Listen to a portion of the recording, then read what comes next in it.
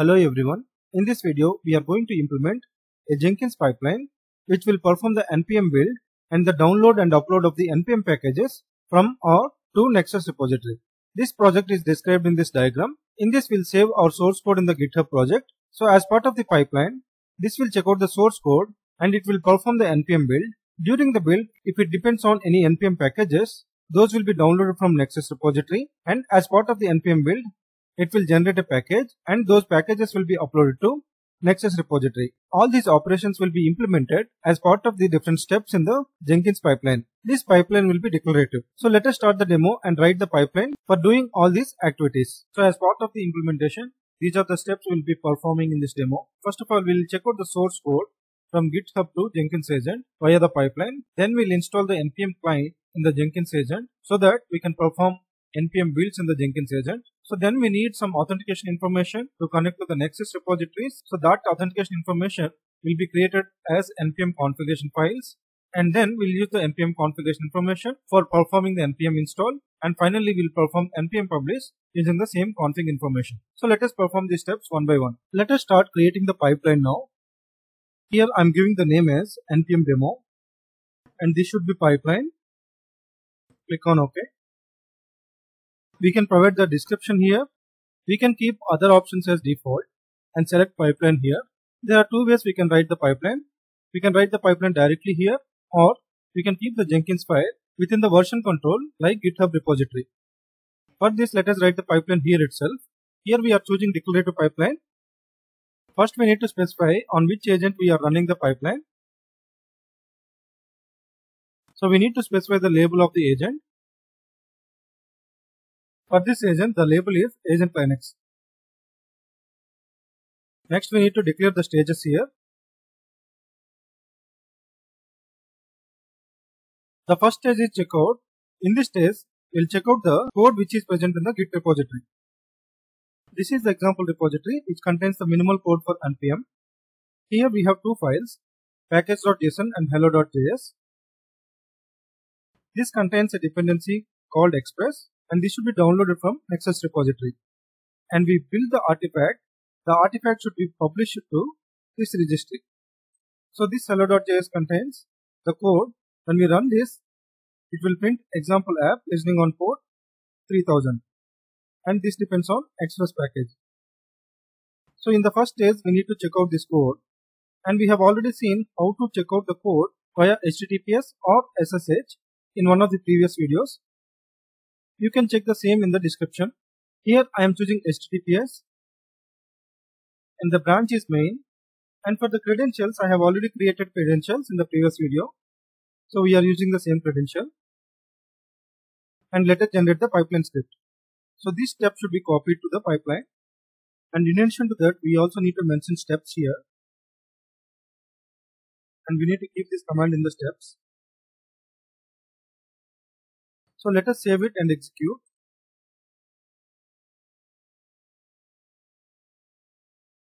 So now the build is executed. You can see the console output and the checkout is happened successfully. This is the Linux VM. We'll install Node.js in this machine when we install Node.js, npm client will be installed as well. This is the downloads page of Node.js. Here there is a link for installing Node.js. Let us open this. These are all the instructions for installing. Let us copy these commands into a notepad. Here I have changed the version. We need to select corresponding version based on the operating system. Here we need to create this directory and we'll copy this binary file into that directory and unarchive that. So we need to download this binary installer file for that, let us copy this link. Here we are using the version variable here and the distribution. So let us execute these commands. The directory is created. Let us unarchive the file.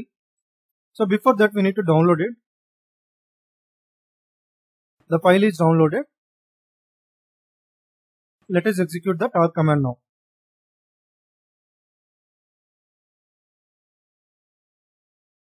Now it is unarchived. Let us go into the Node.js directory. So we can go inside this directory.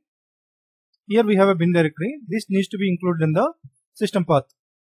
So let us copy these lines and we'll put in the dot profile file. So let me open dot profile file now. And let us copy those lines at the end of the file. Let us save this file. The file is saved now. Let us execute the dot profile now. Let us verify the path. Now we can see that the node.js path is present in the system path. Let us verify the node.js and npm client version. So this is the version of Node.js and this is the version of npm client. So the npm client installation is ready in the Jenkins agent. So now we have completed the checkout of the source code to the Jenkins agent and also we have installed the npm client in the Jenkins agent. In the next stage, we need to perform the npm build. So when we perform the npm build, the download of the npm dependencies should be done from Nexus group repository.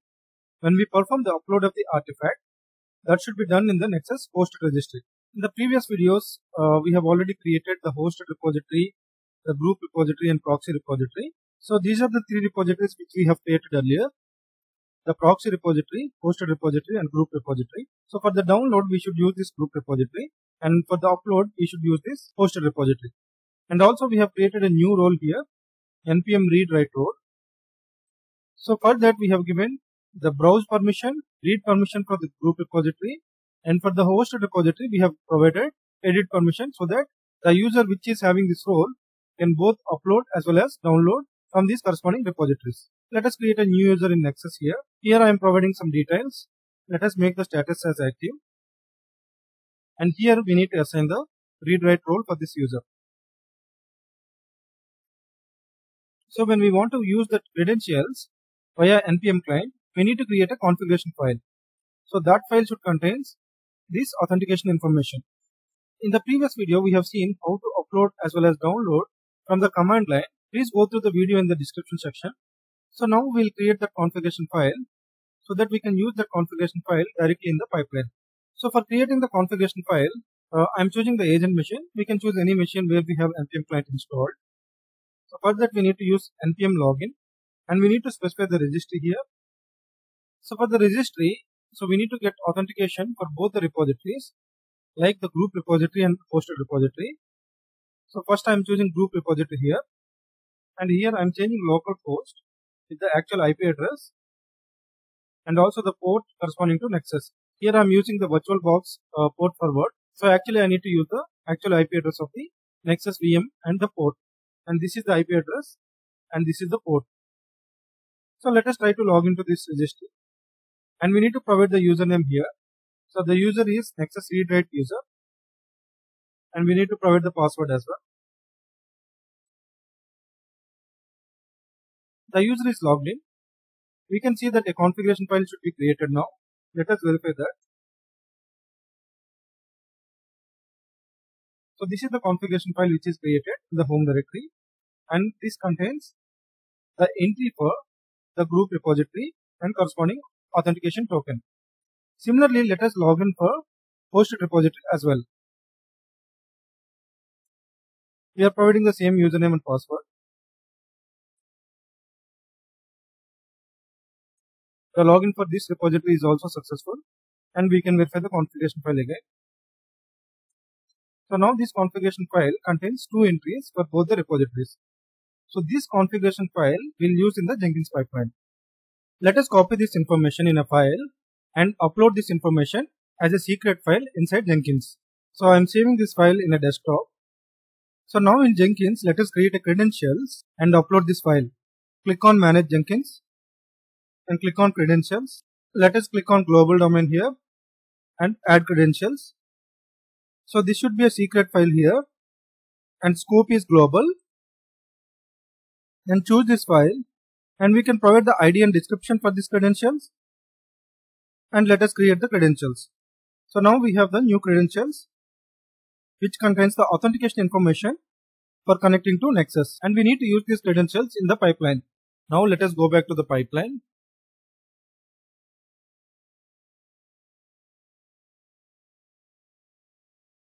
Here we need to add a new stage for the npm build. Let us add step section here. Here we need to specify the steps for npm build. As part of this, we need to use the secrets file which contains the configuration. So for that, let us click on pipeline syntax So here we need to use with credentials. Here we need to add the bindings. So the binding should contain the secret file. We can provide any variable here. I'm giving my npm rc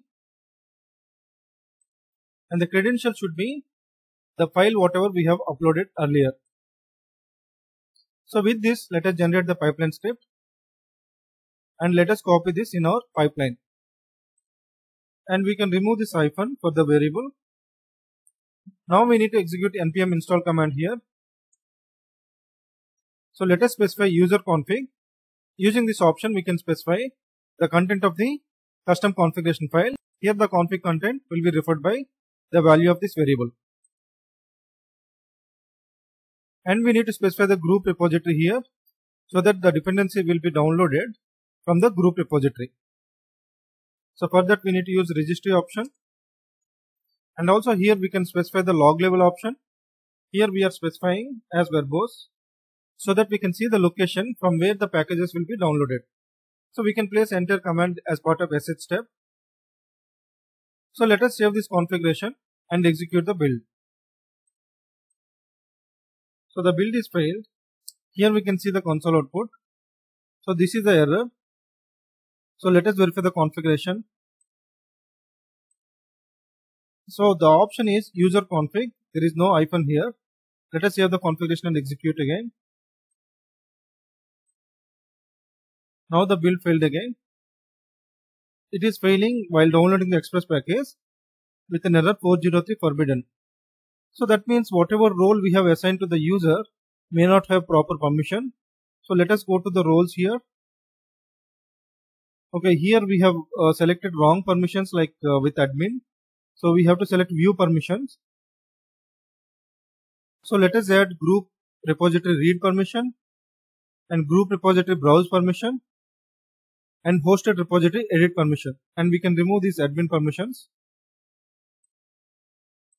So these three are sufficient. Let us execute the build again.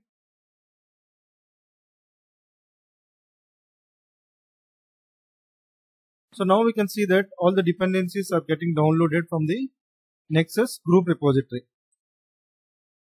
Here we can see that all the packages are downloaded and the installation is successful. Now we can publish the build package to the hosted repository. So for that again change the configuration of the job. So let me add a new stage here. Let us add step section here and we can copy this configuration. Instead of npm build, let us provide publish here and instead of npm install, let us provide publish. So for publish, we do not need this option. We can save the configuration and execute the build again.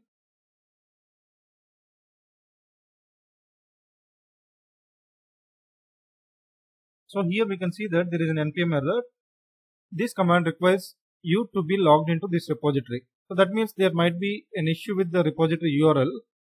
So this repository URL we have specified in the publish configuration in the package.json.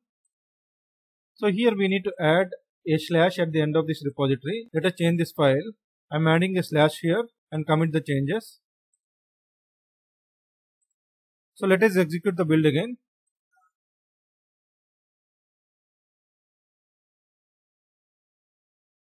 Now we can see that the package is successfully published to the Nexus hosted repository.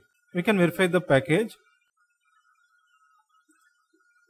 Here we can see the package which is uploaded just now. So this way we can perform npm builds from the Jenkins pipeline. So in this video we have seen how to perform npm builds which downloads the required dependencies from the Nexus repository and upload the npm build packages to the Nexus hosted repositories. I hope this video helps. Thanks a lot for watching.